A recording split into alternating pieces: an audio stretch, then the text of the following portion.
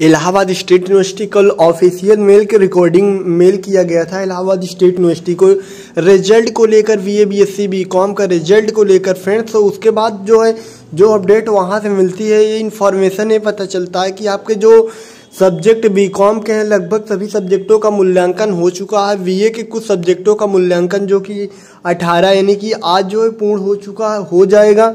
और कुछ सब्जेक्ट अभी बाकी हैं बीए के और बीएससी के कुछ सब्जेक्ट बाकी हैं, बाकी सारे सब्जेक्टों का मूल्यांकन पूर्ण रूप से हो चुका है। आपके रिज़ल्ट के रिकॉर्डिंग जो है, आपका जल्दी रिज़ल्ट डिक्लेयर किया जा सकता है। सबसे पहले बता दूँ फ्रेंड्स आपके जो है बी कॉम का रिज़ल्ट आएगा। उसके बाद थोड़ी दिन बाद जो है, या उसी के शाम या सुबह तक जो है, आपका बीए का रिज़ल्ट आ जाएगा। बीए के बाद बीएससी के भी रिज़ल्ट जो है डिक्लेयर कर दिया जाएगा। ये ऑफिशियल और रियल अपडेट इन्फॉर्मेशन मिलने के बाद आपको इन्फॉर्मेशन किया जा रहा है। Smart study tech Allahabad state university से रिलेटेड कोई भी इन्फॉर्मेशन हो, सही और निष्पक्ष खबर आपको सही समय पे दे देता है, जिससे आप अपने लाइफ में स्टडी के अचीव में कोई भी प्रॉब्लम का बाधा ना कर सकें, ताकि आप अपने कार्य को सही समय पर पूर्ण कर सकें।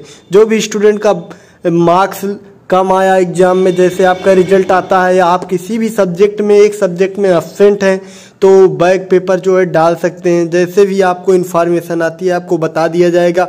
और भूतपूर्व बैक लगे स्टूडेंट का तो बैक पेपर फॉर्म ऑनलाइन चल ही रहा था। कल लास्ट डेट है, हो सकता है एक बार फिर ओपन हो साइड उसके रिकॉर्डिंग कोई भी जानकारी चाहिए तो आप लोग बताइएगा। मैं उसके रिकॉर्डिंग एक वीडियो आपको अपलोड कर दूँगा।